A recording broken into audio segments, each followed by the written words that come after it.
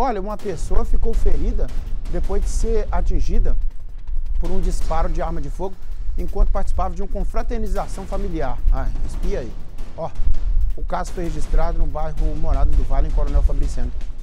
É a Gisele Ferreira que está de volta para contar detalhes para Quer dizer, Gisele, a confraternização aí e teve o disparo, né? Quando é que isso aconteceu, hein? Nico, esta ocorrência foi registrada na manhã desta segunda-feira no bairro Morado do Vale, em Coronel Fabriciano. De acordo com registros da Polícia Militar, este homem estava em uma confraternização e depois decidiu ir para outros lugares. E neste caminho que ele fez, ele foi abordado por autores que efetuaram disparos de arma de fogo na vítima, que foi ferida na região do quadril.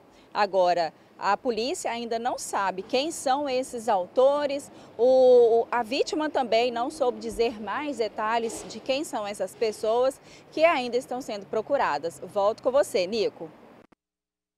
Meu Deus do céu. É, as festas estão terminando ruim, né?